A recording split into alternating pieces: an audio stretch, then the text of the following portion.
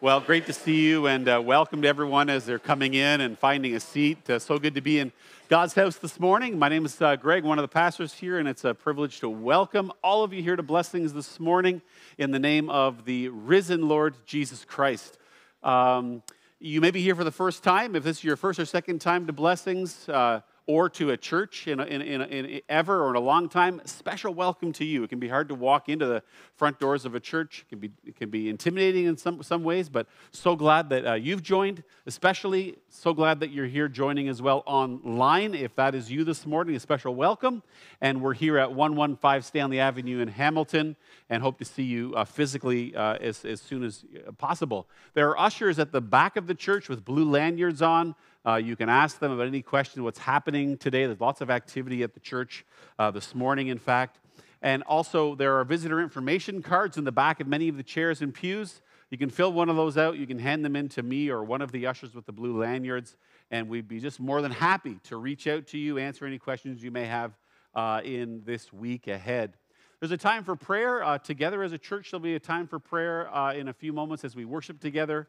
Also, after the service this morning, there's prayer at the Purple Banner, and after the service tonight at 6:30, there's also prayer at the Purple Banner, personal prayer for individual uh, needs as uh, they may arise in your own life. Um, and tonight we have Pastor uh, Will uh, preaching and teaching at 6:30 uh, on the uh, Lord's Prayer, and everyone's welcome for that service as well. There's lunch today following the morning service uh, and uh, it'll be downstairs. But directly following today's service is our annual fire drill. So after the last song today, please do remain seated, and uh, Dan will come up and explain the fire drill. And then after that, uh, you are also welcome downstairs for uh, a light lunch to connect uh, with, with each other. Hope you can stay for that if you're able today. Well, I invite you uh, as you can to rise now for our call to worship from Psalm number 89. I will sing of the Lord's great love forever.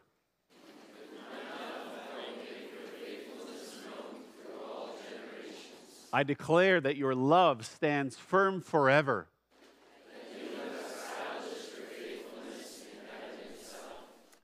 You said, I have made a covenant with my chosen one. I have sworn to David, my servant. I will establish your line forever and make your throne firm through all generations. Praise the Lord.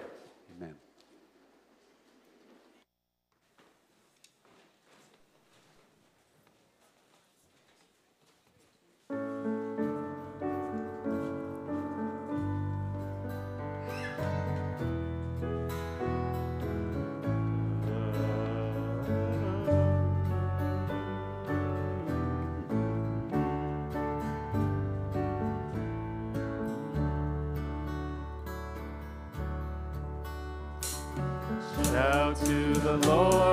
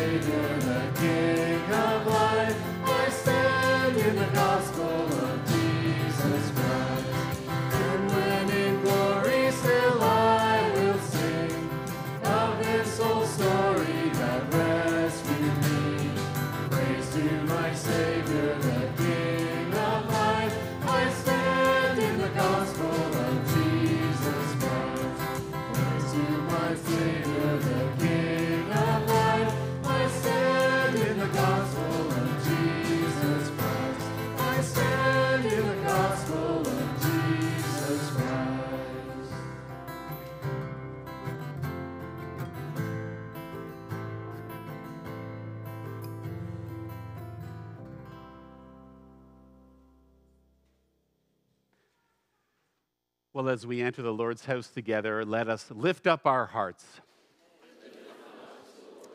Well, uh, every Sunday morning at Blessings, we have an opening prayer, and that opening prayer includes a time of confession. Uh, that is uh, opening up our hearts and lives before the God who knows us better than we know ourselves, and uh, acknowledging how wonderful and great God is, but also our own sin, and proclaiming uh, in that prayer, remembering in that prayer that we are forgiven and made new creations uh, in Christ our Savior. So, in that spirit, let's bow down let us pray. Gracious God, you are truly great, and your name is to be praised. Your goodness, O oh God, is deep, and we cannot fathom it by ourselves. O oh Lord, who has searched you and known you? Your power, O oh God, is beyond us. Gracious God, we come and worship this morning knowing that our lives fall short of your righteousness and your holiness. Lord, we come in worship this morning to sing your praises, to enjoy your presence and the company of others who call on your name. Yet, as we enter your presence, Lord, we are just so aware that we are not God, that we are not you, that we are your creations, and we are touched and indeed broken by the power of sin. And Lord, we would confess before you, as the Bible teaches us, the wrongful things we have done, the hurtful things we have done. We would confess, O oh God, that we are a people in need of rescue from our sins, and that without the power of Christ, we are indeed lost and deserving of death. Oh God, how we rejoice this morning in the work of Jesus, in the power of Jesus, in the person of Jesus who has the authority and has made possible the forgiveness of sins. Lord, that our, our guilt might be assuaged, that we might have peace in our hearts instead of anxiety, and new power and desire to live the ways in which you call us to live, to pursue justice, to pursue uh, humility, to pursue mercy.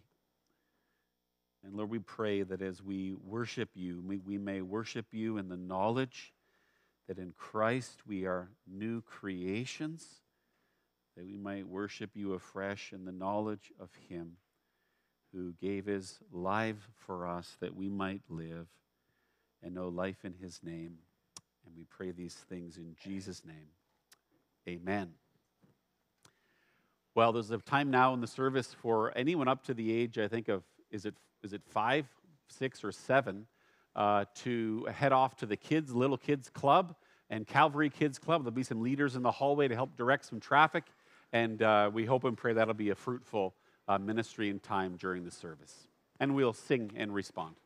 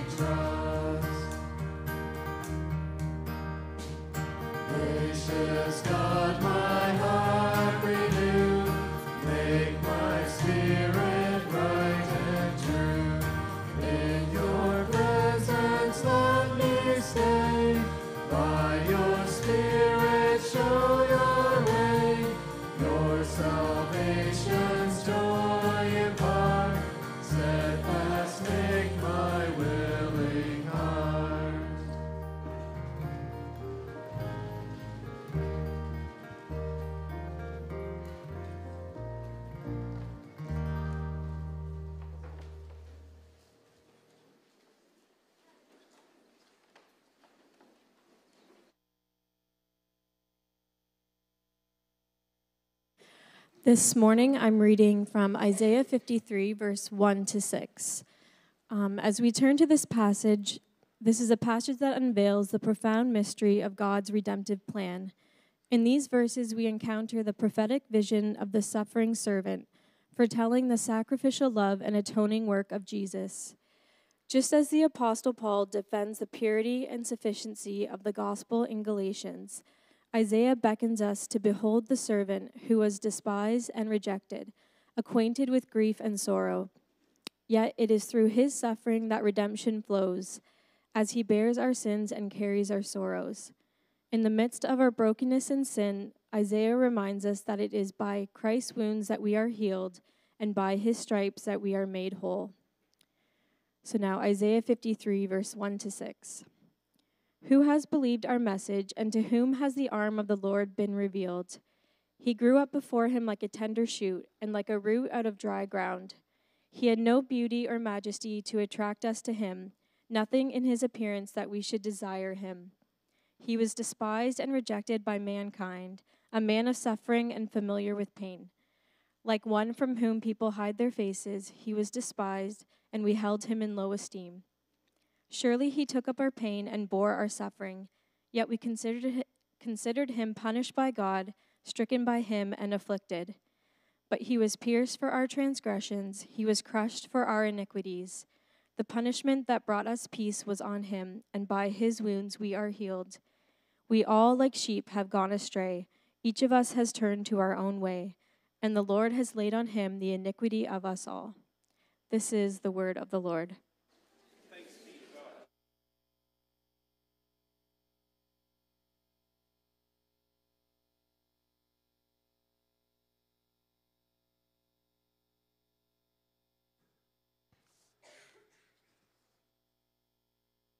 Thank you, Jody, and our. Uh Second reading this morning is from Galatians chapter 1 as we begin a new series on uh, part of the book of Galatians, and I'll be reading Galatians 1 1 to 5.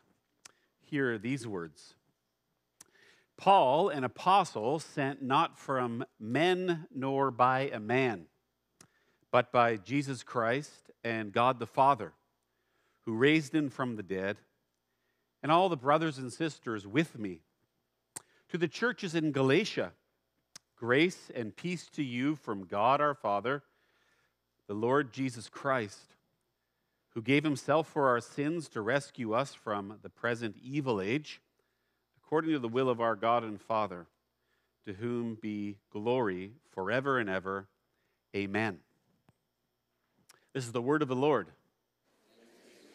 Well, let's pray. Gracious God, we bow before you, the one who speaks to us. And so we bow before you with expectancy. We bow before you wanting to hear uh, from you, O God, this morning through your word. We come with hearts, Lord, that are wanting to be fed with the word of life. And so cast from our minds all the other thoughts, Lord, that crowd our, our minds today worries, anxieties, things we need to do in this week ahead, things we're concerned about, things we're looking forward to. And grant us, Lord, uh, minds and hearts that are willing and ready to receive uh, the word of Christ. And we pray this in his name. Amen.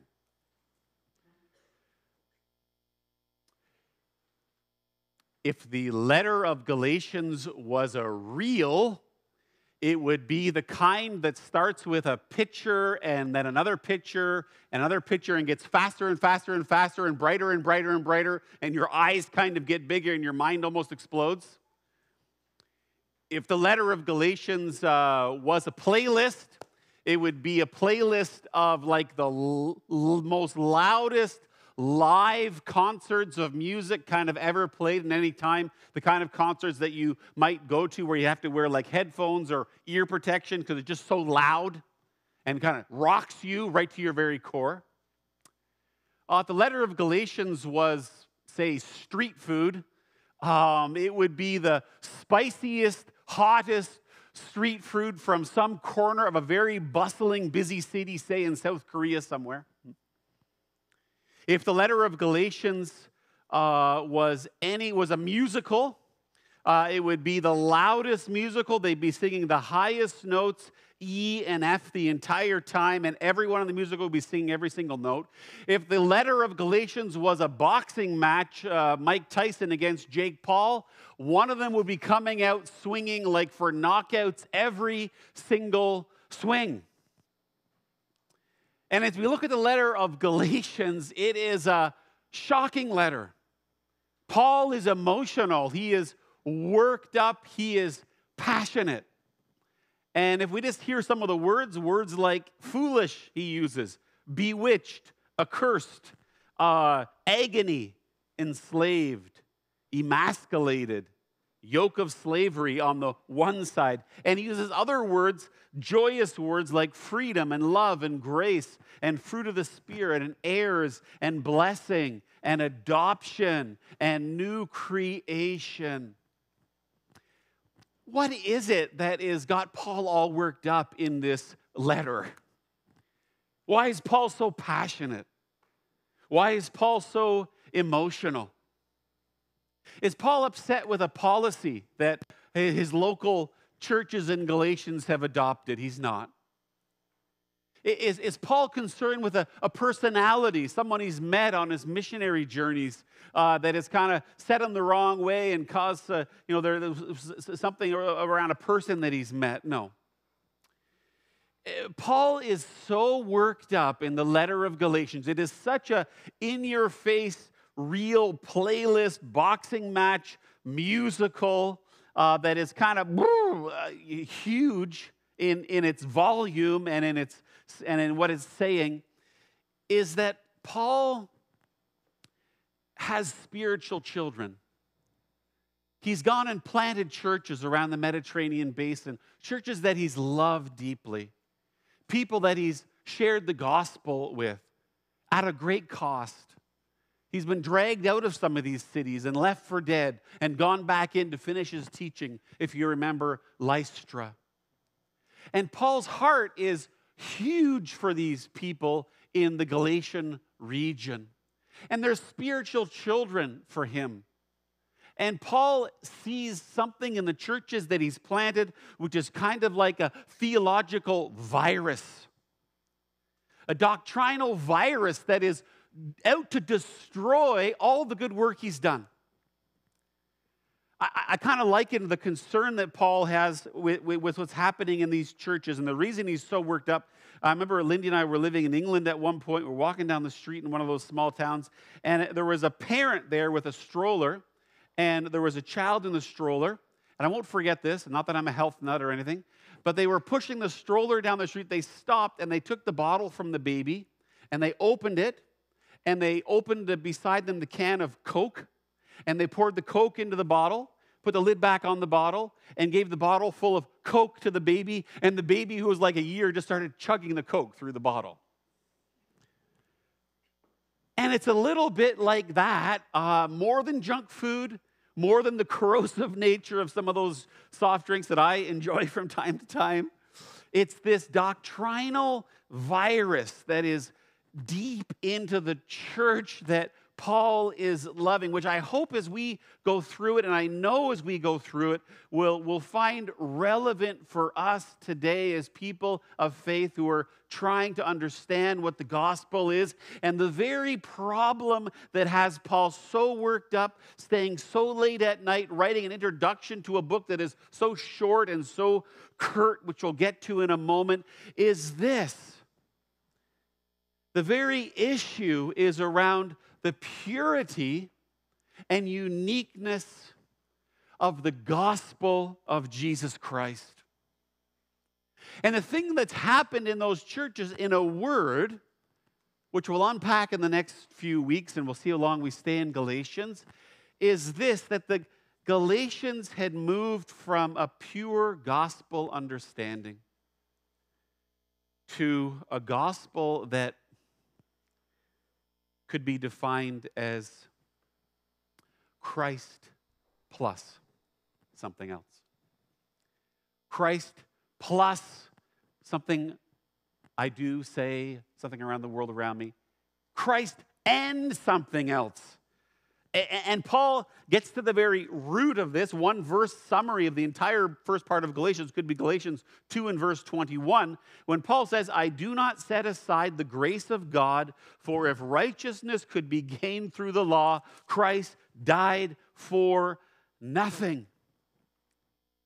Paul is so worked up because uh, the church in Galatia had been infected by a false set of teachers who basically were making a joke, a divine joke of the cross of Christ, that Christ died for nothing, that his work on the cross did not complete something, that Christ had to do more, that it was not finished on the cross, that the work of God was not complete in Jesus, that there was always more that people had to do. Which is an unbelievably common misunderstanding of the gospel in our day and age. And I sat a couple of years ago, I remember many times I sat, I remember a couple of years ago I sat, I'll never forget this, with a 75 year old Sunday school teacher who had taught his whole life Sunday school, had been in church leadership, had done all kinds of things, loved kids, loved youth, was in that field in his own life. And he sat with me as we tried to talk about what the gospel was. And he said to me, Greg, I think the gospel is something like this that if I do my best, if I'm kind to people, if I do good. It's a 75 year old, been in the church for 75 years. Gospel is that if I do my best and I do good to others, that God will have a place for me in the many mansions. Oh, this got Paul so worked up. This idea of what the gospel is. So, what is the title of this sermon? Well, let me tell you what the title of the sermon is, and let me give you one more if and then series. if the letter of Galatians was a reel, if it was a playlist, if it was street food, if it was a boxing match between Mike Tyson and Jake Paul. Lastly, if the letter of Galatians was a public demonstration, it would be a riot. There'd be people out on the streets yelling and screaming, and they'd be holding huge placards if the letter of Galatians was a public demonstration. Huge placards over their head, which said something like, The gospel of grace.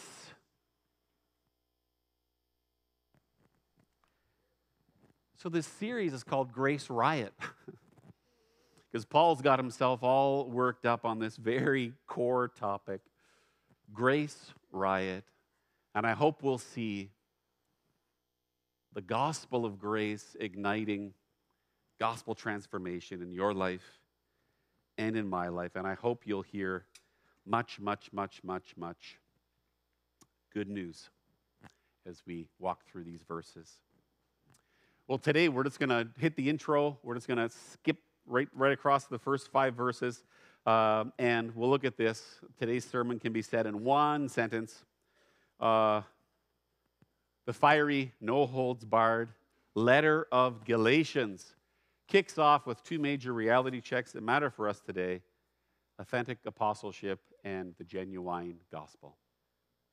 All right, number one, authentic apostleship. Paul takes a minute and gets this set up. He says in verse 1 Paul, an apostle, sent not from men nor by man, but by Jesus Christ and God the Father who raised him from the dead. Paul talks for a while at the very beginning of the letter on authentic apostleship. Paul doesn't start this letter with a long, warm greeting. He doesn't give the saints, he doesn't say thanksgiving for them, he doesn't give a prayer for them. He just gets right into this and he defends emphatically his apostleship. Paul, remember, was Saul before he was converted, named after the first king of Israel. Right? He was a Jew of Jews. He was a Pharisee of Pharisees. He was on the very inside of the religious circles of that time. And something happened to Paul on the road to Damascus. He heard the gospel from Jesus Christ himself, and the gospel exploded in Paul's heart, changed everything. Paul had a worldview that he functioned in. Paul had a way of living, a way of thinking. And for Paul, the gospel exploded in his heart, and he was converted instantly and immediately to be a follower of Jesus Christ. And the Lord Jesus Christ appointed Paul personally to be an apostle, capital A, of the church. There were 12 and a few other apostles of the early church. And Paul takes pains at the beginning of this letter to make sure that those hearing it, the churches in Galatia, see that he is a real apostle. He is not an impostor. He has real credentials, he has real authority. And the false teachers that are around the church, uh, distorting what the gospel is, uh, feeding the congregation spiritual coke in their bottles, um, as it were, he is saying, I'm not one of those. Uh, the Lord Jesus Christ gave me a special status. And he appeared to me, and others were known by him, and he appointed others, including me, as an apostle of the church. And we see in Ephesians chapter 2 and verse 20 that the church is founded on Jesus Christ and the apostles.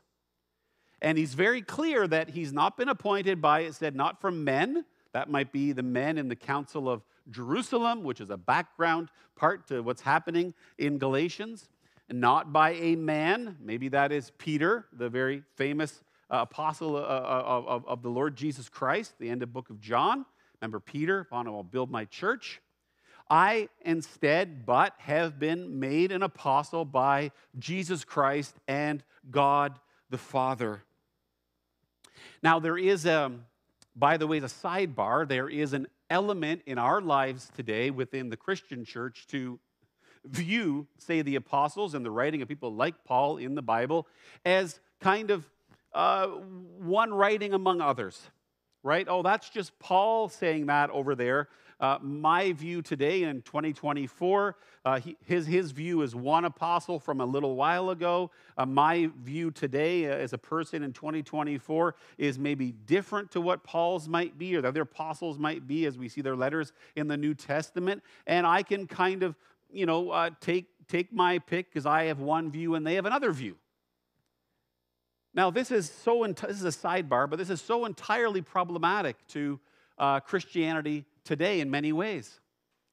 That the church has, has received uh, from the Lord Jesus Christ and the apostles, Ephesians 2 and verse 20, a sense of a historic Christianity uh, based on the Lord Jesus Christ and the Bible as we have it before us. And Paul wants to remind us that what he is to say and what we hear in the whole Bible, including the letters of the New Testament, we ought to listen to.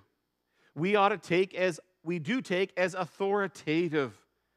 We don't hold as just one kind of book, literature around the other, but as authoritative for our lives. He's an authentic apostle, listen, he says, to what I'm going to say. Trust what I'm going to say, says Paul. And in verse 2, he kind of adds to that, saying, and all the brothers and sisters with me. Why does Paul add that? Well, Paul's saying, he's reminding us that he's not writing this letter in a vacuum. He's not giving this message in a vacuum. In fact, he's writing from Antioch, most likely, his home church. And the church in Antioch, remember, is where Paul returns to after his missionary journeys. Church in Antioch is now bigger and stronger than the church in Jerusalem. Church in Antioch is really moving and sending out missionaries and doing very well and thriving and planting churches. And Paul is saying, Look, I'm not a lone ranger in what I'm going to tell you. Uh, I'm not out kind of in cloud, out there kind of on my own making this correction that I'm about to give, this good news I want to explain to you. I'm not making this up. I'm writing from the church in Antioch, where, where Christians were first called Christians, right? Where, where the gospel has gone out to the rest of Asia and Rome and Europe and beyond, right? Up, up near, up, up just north of, quite far north of Jerusalem, up heading towards Turkey today. And Paul is saying, look, what I'm going to talk to you about in this grace riot is not just me. I'm standing shoulder to shoulder with the church in Antioch, the brothers and sisters here, about the truth of the gospel. That's his authentic apostleship. To the churches, he says, he's writing in Galatia, the end of verse 2, to the churches, right? He's writing to, to four churches, most likely Pisidian Antioch, Iconium, Lystra, Derbe all of which you can read about in Acts chapter 13 and 14. And while you're turning to those this week, I would just say encourage you that as we start walking through Galatians 1 and 2, when you have a moment this week, whenever it may be, uh, I would encourage you to take the book of Galatians and read the whole thing in one sitting. It doesn't take very long, it's only six short chapters. And uh, if not, you can read for sure just Galatians chapter 1 as we uh, get more and more familiar with what is in these verses. And then we come to the second kind of main point for Paul, which is the genuine gospel. The genuine gospel. And in verse 3 to the end of verse 5, he says, Grace and peace to you from God our Father, the Lord Jesus Christ, still his intro, who gave himself for our sins to rescue us from the present evil age, according to the will of our God and Father, to whom be glory forever and ever. And that's the end of his introduction. And he kind of summarizes in here the genuine gospel, the placard in the street, the gospel of grace. So let's just remind ourselves and learn from these verses what is the genuine gospel with which Paul opens the letter. Well, we'll look at, we'll look at four points here under this section about the genuine gospel. What Jesus did, why Jesus did it, what's its origin, and what's its nature. So, first thing is the genuine gospel, what Jesus did. Uh, Paul says here very clearly uh, grace, peace to you from God our Father and the Lord Jesus Christ. And then we have what Jesus did, who gave himself for our sins. So, the gospel, the, what Jesus did is that he died for our sins. Uh, what Jesus did is he accomplished something on the cross with respect to our sins, which, of course, reminds us that, that, that, we have sin in our life with which we battle, just as the first Galatians did, and that's very present, but that God has done something about it, uh, forgiving the sin that we commit, replacing the, the, the, the, anxiety and the guilt in my life, in your life, with what? Peace, the second or third word of verse 3. Peace is replaced. He dies for our sins, He dies effectively for our sins. Something happens in the, in the death of Christ. He forgives us, and we know because of His forgiveness uh, on the cross, new inner peace, anxiety per, uh, is gone, purpose in my life is there. The cross of Christ is not primarily, Paul wants to remind us, a display of the love of Christ. Right? The cross of Christ is not primarily uh, two pieces of wood on which uh, we see an ethical norm, a hero, uh, someone that we should kind of be like and emulate because he was so self sacrificial. No. That's not the point of the cross, says Paul. Galatians 3 and verse 13 says that Jesus became a curse for us. That on the cross, Jesus becomes a curse for us, and that Jesus gave himself for our sins because we as sinners are so completely unable to save ourselves, and we ought to, because of the work of Christ, we therefore give up trusting in ourselves that we are righteous. Jesus dies for our sins. We're not, we're not righteous before God. We're not able to put ourselves in God's favor and correct the sin and brokenness and death that we know is around us and in us so many times. And for Christ to die for our sins pricks my heart and hopefully yours with, with how often we, we love in our own lives self righteousness, right? That we what? We have pride in our own achievements often, don't we? That, that, that, I, that I do things in my life, I accomplish things in my life, I get there because of my personal abilities and efforts. Right? I achieve that thing in my life because I've worked so hard. And that's part of it. God gave you the energy to do the hard work, but that can be a form of self righteousness, not needing Jesus to die for me because I am creating my own worth and value and rightness before my Creator because of what I've achieved. There's religious piety that can be a form of self righteousness, denying the gospel. That I trust in my own, uh, as a, in a way, my own um, adherence to religious laws. And I, I do these really good things on Sundays. Uh, Saturday night might be different. During school on Monday might be different for example, but I, I cling to certain religious laws at certain times, and that makes me feel pious or right. Maybe it's intellectual elitism. I'm smarter than you, you might say to that person. I've, I've read more than you. Well, and therefore I've, I'm propping myself up. I'm a little bit better. I'm a little bit intellectually or morally superior. Paul is reminding us that you and I, because we are human, the very nature of being human, we, in a sense, love self salvation, don't we? Right? We find self salvation very attractive, whether it be through religion, keeping certain rules, whether it be through the secular, gaining more in my life, getting more, accomplishing more. But the gospel, Paul is reminding us, is so different to that and so upside down. It's so up down. It's that we're so hopeless that we need a Savior to die for our sins, and we can do nothing at all to accomplish that. William Temple, one of the archbishops of England, many years ago said, The only thing that I contribute to my salvation is my sin.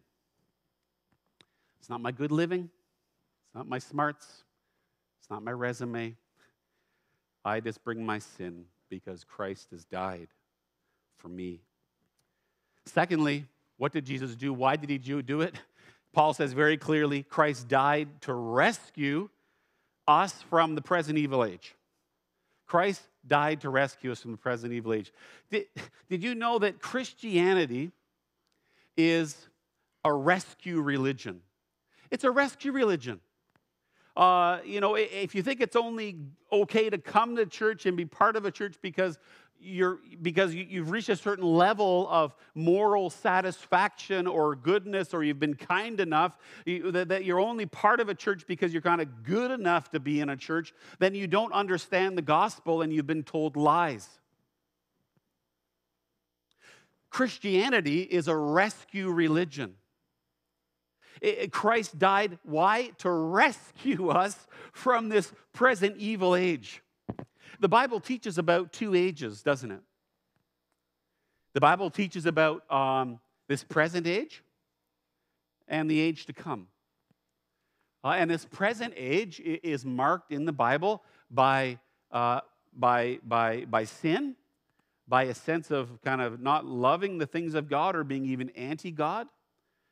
Theologically, the words are Adam, by, by law, by sin. In this age, these things are marked in that age. And, and, and the life of the age to come, made possible in Christ, the resurrection of life, is what? It's marked by freedom and by grace and by peace and by life, by resurrection, by security. This age and the age to come. And why did Jesus die? He, he dies, the gospel is to rescue us from this present evil age. And without the work of Christ, you and I have in our clothes, in our hair, the smell, uh, the, the effects of this present evil age. And I thought about that this I thought about that this week because I have been known from time to time to uh, get out the power tools and do house renovations. And I'm the kind of guy that's, you know, just, uh, I know just enough to be dangerous, right? That's kind of where, that's my, that's my kind of way of doing house renovations. And I remember one time getting out the power tool to take out some drywall. And in our place, the drywall is not this thick, but it's like drywall plus plaster and metal and all. I don't know what they were doing back then, but you could run a, a truck into that wall and nothing would happen to it, I don't think. But I remember one time uh, thinking I'm just going to do this job. I'm going to get my power tool out. And I just walked in like this, no mask or anything. I'm just a, you know, you know, and, and I look around and there is more dust in that room than I thought was possibly, ma- you possibly get in a room. I, I found my lungs, like, I couldn't breathe. I was like trying to breathe in. Uh, I went outside, and I looked in the sunlight, and I was covered in the dust.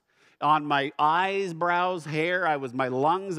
Like for the next three days, I could feel the drywall dust coming up out of my. I was like, oh, I got this coffee.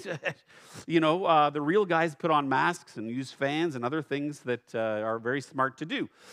Look, why did I tell you that? Living in this present evil age is kind of like living in the drywall dust all around you. It kind of soaks into you, gets into you, gets at you, gets all over you, draws you in, draws you down. But the Christian life, the gospel life, says Paul, the Christian life is by the power of Jesus who rescues us from the power of sin of this evil age. The Christian life is living in this age today, the life of the age to come. Right? That's the Christian life, if you want, why Jesus, so that we may not be clogging our lungs and our lives and our souls and our actions with the drywall dust of sin, and that we instead may be breathing in the grace of God, the goodness of God, which we know was like, like a new Eden from the end of Revelation, a new creation. That all of that, through the work of Christ, is soaked in to your life and to mine. It's the power. Why did he die? To rescue us. And if you find you're, you're living today it, with this sin that, you know, I'm not telling anyone about that because it's too great. I'm living with a shortcoming that I know is a shortcoming, and I would love more than anything for that to be out of my life, but I, I don't think it'll ever happen. Or I'd love for, for, for to stop doing this to this person I love, uh, but uh, I, I, I, just, every time I try, I can't. And, and, I, and I'm a bad person and I'm guilty for it. And, and I probably deserve to never change. And, and, and, if, and if you're living in that age, and all of us in a way are, I want you to hear the good news of the gospel that Jesus is the rescuer, He's the helper. When we put our trust in Him, our lives change. It's not they might change, they do change. It's not could it change, it's that I am changed by the power of the resurrection, by the power we're rescued, and instead we become to long and look for the things of God. We're rescued. And then, number three, the genuine gospel, what Jesus did, why Jesus did it. Number three, what's its origin? Paul is very clear here. He says, according to the will of God uh, our Father, will of our God and our Father. What's the origin of it? The origin of the gospel, the origin of Christ's death, the origin of this rescue is in the very sovereign will of God. The very one who set up creation, who orders the stars and the planets, the one who, and if you're not a Christian here this morning or you're thinking about whether to become a Christian, you know, there are moments in your life, in my life, when the din of life dies down and the music fades, as it were, and, and I'm sitting with someone in a church, by myself, wherever it may be, and I have this thought you know, could there be a God? You know, could there be more? And there is. It's by the will of God, says Paul, that this gospel has come to be. Jesus is the Lamb of God, we're told in the Bible, slain before the foundation of the world. It's by the will of God that this good news has come to, to, to rescue me. It's by the will of God that Jesus, in his obedience, went to the cross. It's by the, the will of God that he rose again from the grave. It's by the will of God that he's ascended into heaven. It's by the will of God that, that, that, that you can become a new creation in Christ and grow in him and have a new life. It's by the will of God that each one of us could be, in a way, born again and grow and be sanctified and grow in grace. It's by the will of God who loves you, who made you did, did we know that we have a creator, a loving, purposeful creator who has a, a will for you? And, and, and maybe you've been in the church a long time. Maybe you're just new, but maybe, maybe you don't know that. Maybe you don't believe that. Maybe you haven't heard that. Well, the gospel itself is rooted in the very will of God from all eternity. All the other things that may be coming against you in your life or troubling you, all the other ideas that you may be thinking about, all the other, uh, all the other coke you might be drinking, none of that's from eternity. None of that's from forever. None of that is from before there were black holes or stars or planets. None of that is, is from the very time before there was time and God purposed a beautiful relationship, an intimate relationship between Him and His creation. Do you have intimacy in your life? Do you have meaning? Are you growing in the gospel? Well, fourthly, we see uh, what Jesus did, why he did it, what's its origin. That origin gives us a purpose that we can just base our lives on forever, regardless of all the other things that happen, good or bad. It doesn't change, it's rooted in eternity. And fourthly, what's its nature?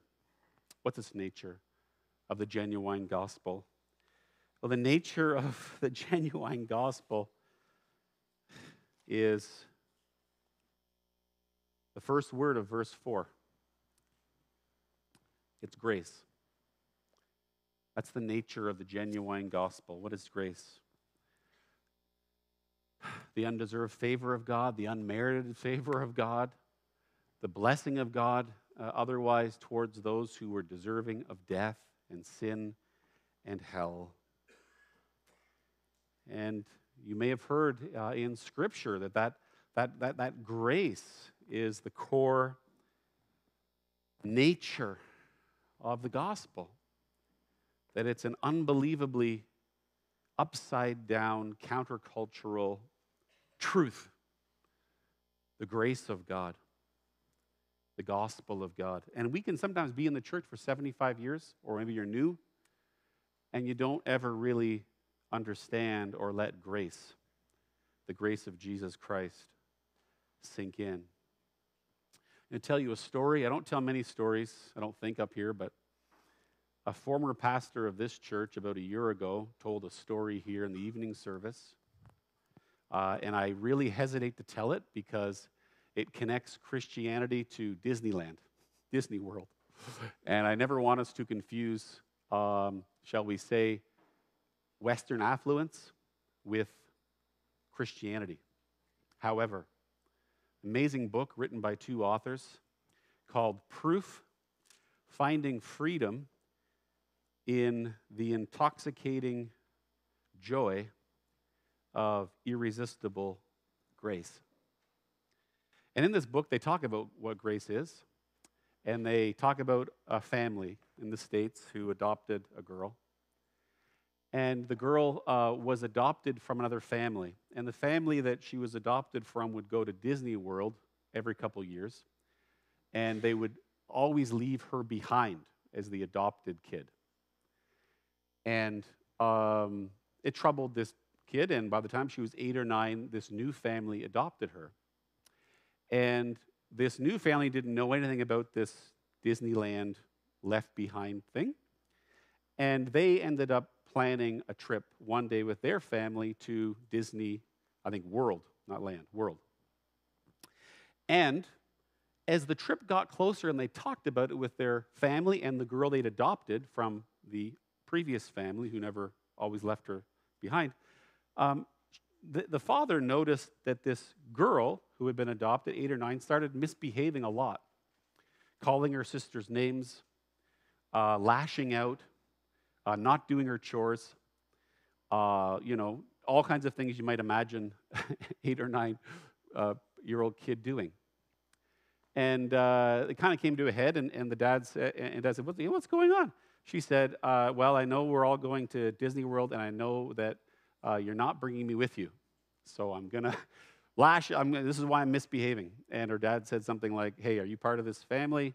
yes, I am. Well, then we're all going to go. You know, the dad in that moment wanted to say in the book, You're misbehaving, you're not going to Disney World. you don't deserve it. Uh, but he caught himself, the authors say, and didn't say that. He said to her, Yeah, I know you're misbehaving, I know you're doing bad things, but in terms of the Disney World trip, uh, he said, uh, Are you part of this family? She said, Yes. Then we're going together as a family. Well, the trip came, and they went down to Disney World. And after the first day, they navigated the whole thing. Uh, our family is staying, I think, pretty far away from there in some ways. Uh, but I, I, won't, that's okay. And the night of, I won't start another story, but the night of, um, they came back after the first day. This is in the book. And uh, the dad talked to this girl and said, "So, hey, how was your first? Uh, how was your first trip to Disneyland? How did that go? How was it?" And she said, "It was amazing. It was magical. Yeah, I was in the magic. I loved it. It was so wonderful, Dad." And then she paused and looked up. Whew, why can I not say this? She said, "Dad, I finally got it. Uh, uh, I finally got to go to Disneyland." But it wasn't because I did anything good. It was because I was yours. Whatever reason, that story gets me every time. It's a story about grace. I'm going because I'm yours. And there's so many things that can pull us in this life. There's so many ways we can misunderstand who God is, what Christ has done. But there's an illustration. I hope you remember. You know, I didn't go because I did something good, I didn't earn that amazing trip. I only got there because I belonged to you, Father. You know, we can go through our lives and earn a wage, work eight hours, get paid for eight hours. You know, we can go through our lives and we can enter, you know, I don't know, contests because we're really great artists and we can win an award for that piece of artwork. I never would. You can work 25 years for Acme so and so, and you can receive a Lifetime Achievement Award from Acme so and so Inc. because of all the hard work you did. But here's grace grace is that, you know, grace is that you can't earn, you can't work for that eight hours, but you get a wage. Grace is you're a terrible artist, but you win the award anyway. Grace is you don't have a 25 year career, but you get the Lifetime Achievement Award anyway. That's what grace is. That's, that's the, the word, the, the, the thing that Paul wants us to know so much. That is why he's so worked up, is because there's people in his beloved churches telling people the opposite of grace saying God is only going to accept you if you do certain things. God's only going to love you if you act in certain ways, if you do certain things. They were losing grace. And Paul and the scriptures want us to understand about the depth of the grace of God, that though we were so undeserving because of our sin, that we were deserving of death, through nothing that we could ever do, did Christ die for us. Did Christ rescue us because of the plan and will of God.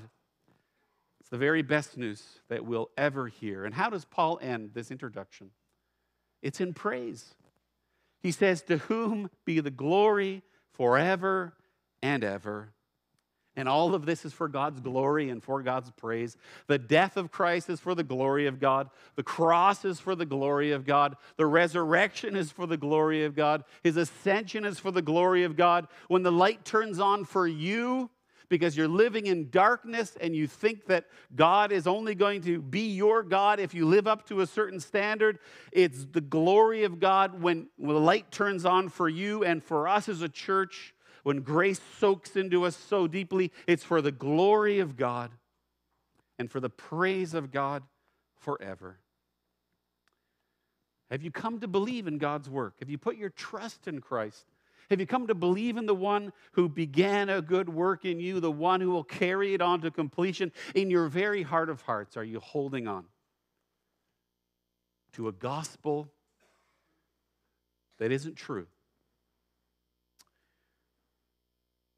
Do you know the grace that God has given us in Christ? Have you confessed your sin? Have you looked to Him?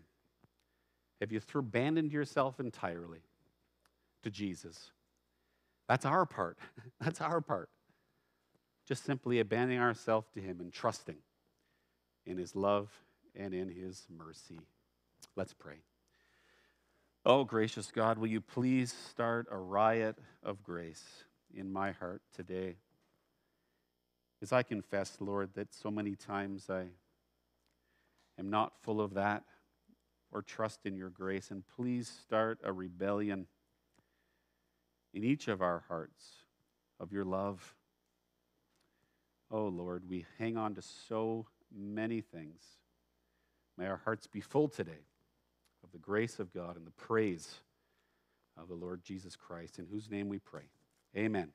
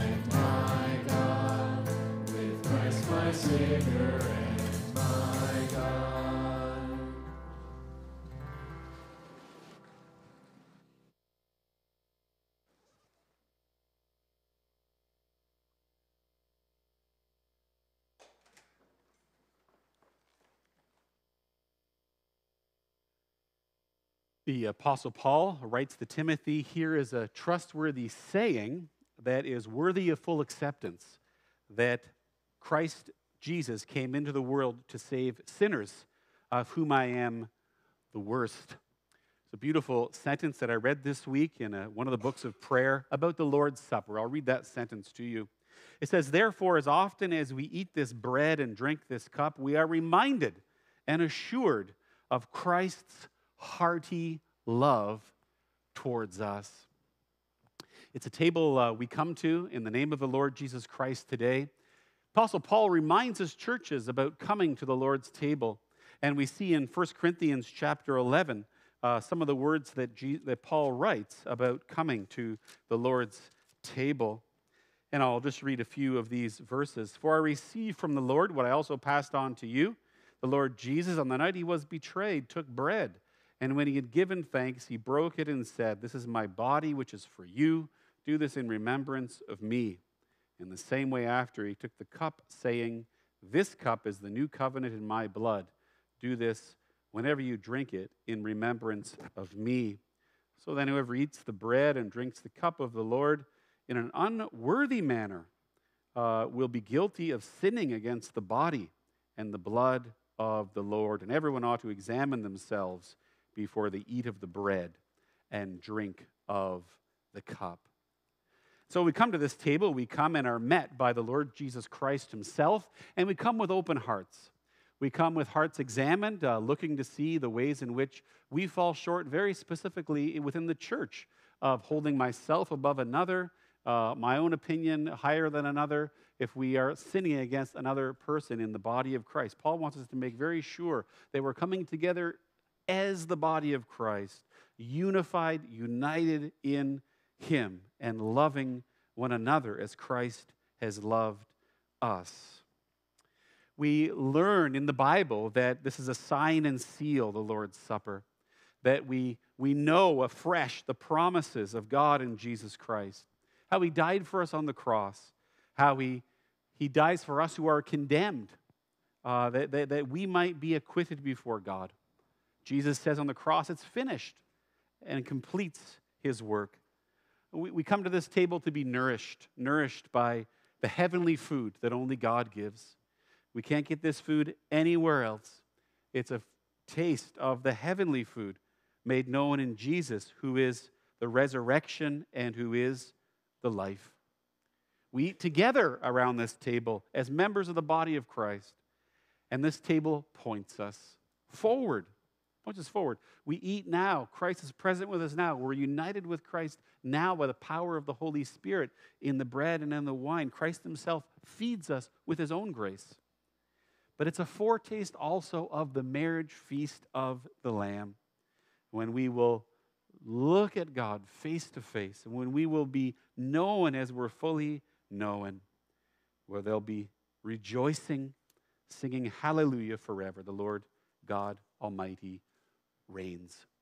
So as you come, uh, think about the outward elements for sure, the bread and the wine, but think most clearly about what Jesus has done for us what Christ has done for you and how nothing can separate you from the very love of Christ. Don't let it be a ritual. Don't let it be a superstition. Don't let it be works based. Oh, I took it today and therefore I have done something. Let it point instead to everything that Jesus has done and uh, accomplished for us. And he's rescued us. Maybe you're here today and you're uh, new to Christianity, you're just thinking about this, and you would not call yourself a Christian or baptized member of a church somewhere. Uh, we are so glad that you're here, uh, but we just want to invite you to uh, withhold and, and, not take the bread and wine when they come. Maybe use the time of reflection to think about uh, what the Lord is doing in your life, uh, what you've heard in the, in the, in the service today. but if, if you are, if you're a believer in Jesus Christ, if you're a baptized member, Church of Jesus Christ, if Christ is your Savior and your Lord today, you are more than invited to come with gladness to the table of Christ. Come, taste, and see that God is good. Let's pray. Oh Lord, we would examine our hearts and open our hearts before you openly. Um, just acknowledging, Lord, that we wish to come to this table completely, freely before you and other members of the body of Christ here today. We thank you, Father, so very much for what you've done in Christ, that you are not the distant creator, but the one who is so very close. We thank you that even though we wandered, you sought us. Even though we have been lost, you came after us like the loving Father. And we thank you for sending your Son Jesus to die for us on the cross for our sins, to rescue us from this present evil age. And Lord, thank you for pouring out your Holy Spirit, uh, the Spirit of grace, the Spirit of power. And Lord, by your Spirit, may this bread and wine become for us spiritually the body and blood of Christ, making us whole, uniting us with Him and with believers of every age and time. And all these prayers we gather in the prayers and in the way Jesus teaches us to pray together, saying, and you can join in this prayer, if you know it, on the screens as well. Our Father in heaven, hallowed be your name. Your kingdom come, your will be done on earth as it is in heaven. Give us this day our daily bread. Forgive us our debts as we forgive our debtors. Lead us not into temptation, but deliver us from evil.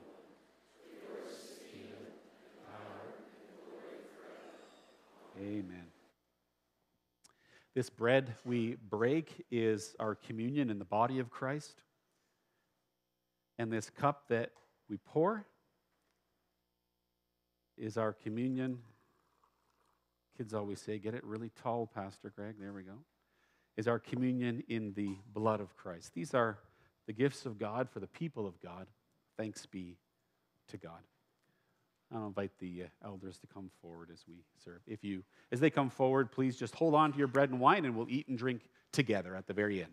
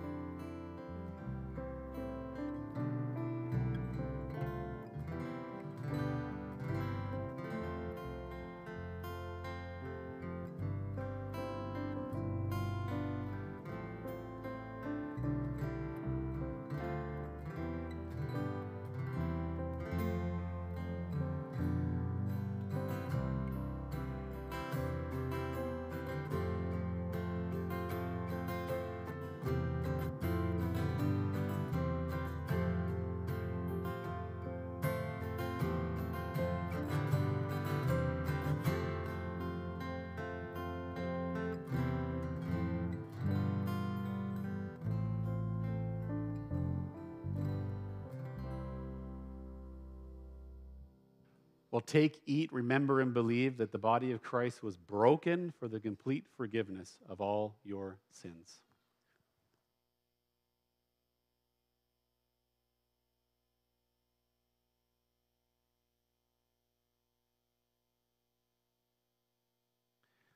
Take, drink, remember, and believe that the blood of Christ was poured out for the complete forgiveness of all your sins.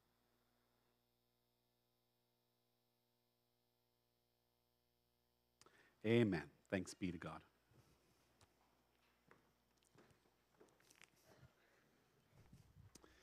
I'd like to invite forward for our pastoral prayer uh, time David Chen and uh, hopefully a couple elders, Brad and John, uh, just to come forward for a moment of prayer and commissioning for David Chen, affiliated missionary evangelist. Many of you have met David and his wife Abigail. Uh, David, come on, stand. Please come right up on here. You guys go up there. I'll go over here. Yeah, come on over that side there, and I'll stand over here. Um, many of you have met David and Abigail. The Lord brought them to uh, blessings uh, by his goodness and by his will, Have been part of small groups. David's joined as a member, so is, so is Abigail. Uh, three, three kids uh, Teze, Isaiah, Nathaniel, is that right? And um, David uh, ha, has been a pastor in China, has planted two churches there, and the Lord has put him here at Blessings. And uh, the leadership of Blessings has been prayerfully discerning, and it was announced at the last congregational meeting uh, that we would like to ask David to come into ministry and be empowered for work, uh, work of Christ here in the midst of blessings in the neighborhood, in the city, as an affiliated missionary evangelist. He's also doing uh, full time studies at McMaster Divinity uh, in his Doctor of Practical Theology, the same work that uh, Pastor Ian at Mercy has been uh, working on, and so comes with uh, many spiritual, I want to say, lots of spiritual background, theological background, and continuing to grow in your work as well, and has a gift we know for sharing the gospel uh, with, with, with, with, others. So, David, we're just so happy to be able to pray for you this morning uh, we're reminded uh, that God uh, has gathered the church from every tongue, every nation, and every people. Revelation 5 and verse 9. And that God calls us to believe in Jesus Christ, John 3 16. That God is set up as the good shepherd, the Lord Jesus Christ, who lays down his life for the sheep, John chapter 10.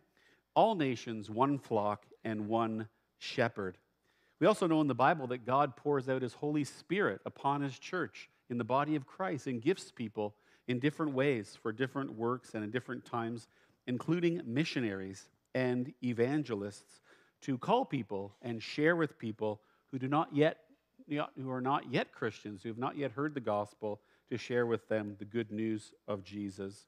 And so, David, we're just so blessed and excited to be able to commission you today, pray for you today, um, trust to, for, for, to release you within the congregation of blessings, but also the city of Hamilton, and hope that you'll find much support uh, and affirmation in your work of uh, missionary evangelist and sharing the gospel in our city. And so, David, I have one question for you, which I'll ask you. Will ask you: Do you accept this commission as missionary evangelist? Commit yourself to this new work in the complete confidence that comes from Jesus Christ.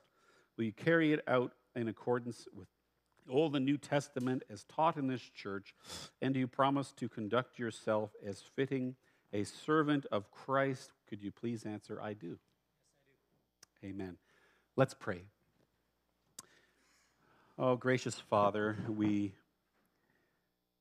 thank you for your goodness and for the amazing things that you do in our lives, in our church, and in our world. We thank you, Father, for gathering us to you into a church. And we thank you for the roles and work that you give each and every one of us. Father, we thank you especially today for David Chen, uh, your servant. And we pray that you might equip him especially for this work of evangelism uh, that you've prepared him for in this city, place, and region. Enlighten his mind to uh, what you're teaching him in the scriptures. Grant that he might have wisdom in any difficulty. Grant that he might know your direction and presence in all of his ways. And Lord, we pray that many more would hear the name of Jesus in the work that he's doing. We pray for the churches in China that David has planted. We pray for the leaders there, for the elders, for the congregation there, the deacons. We pray that you might strengthen them and that the witness of Christ may only grow there. And we ask your blessing on David today, upon his wife Abigail, and upon their children in this time and in this work. And we pray these things in Jesus' name. Amen. David, go in peace and power of the Holy Spirit to do your work. Amen. Okay. Thank you, Brad. Thank you, John. Uh, let's just, uh, we're going to keep praying. Uh, we're almost finished. Then we're going to have our fire drill. So don't forget the fire drill. Um, let's just take a moment and pray. There's many needs uh, on the life of the congregation and the city. Let's bow down for a moment if we could. Let's pray. Father, we thank you so very, very much for the chance to worship together, the chance to be in your house together. What a joy, Father.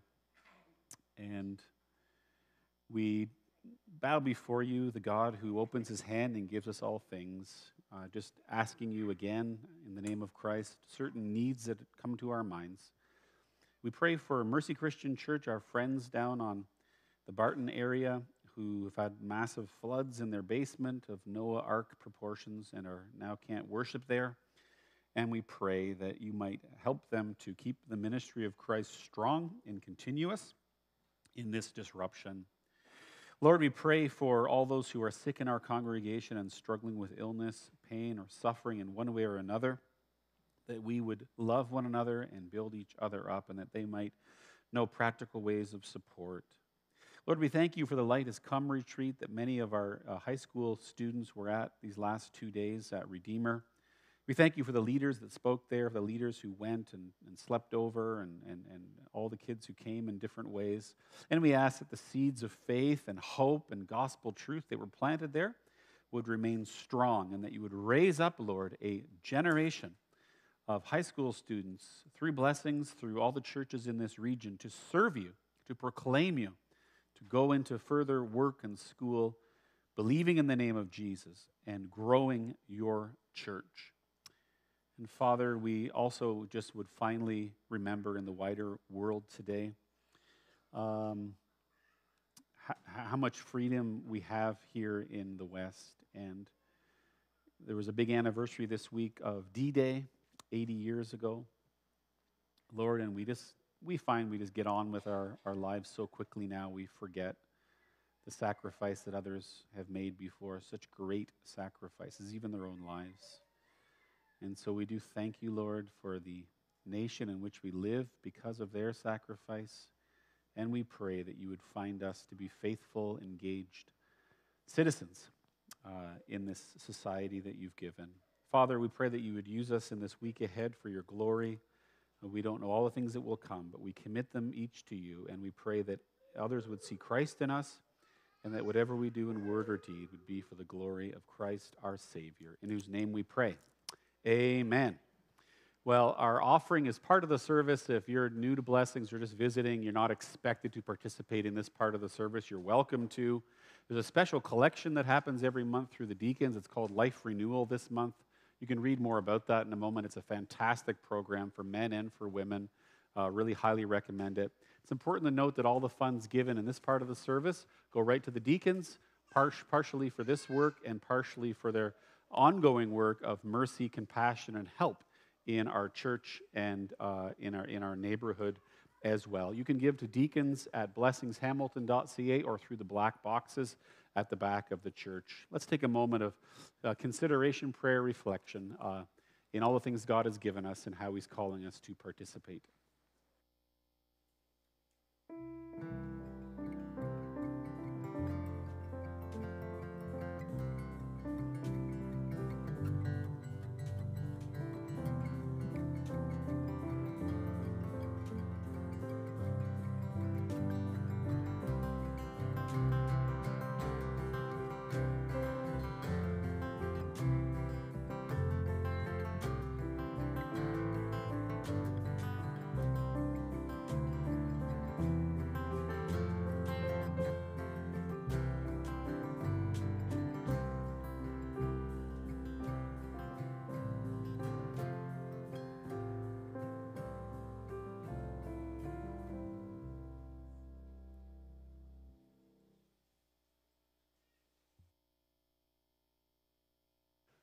Invite you as you're able to rise for the blessing. And we're reminded that after our final song, uh, the facilities team and council really uh, would like you to, to please, I know it's late, but please sit down again so we can do our annual fire drill, which is important for us to uh, bear in mind.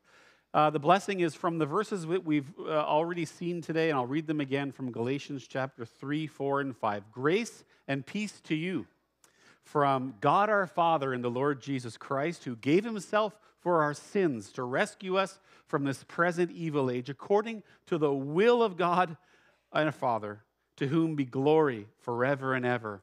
And all God's people said, Amen. Amen.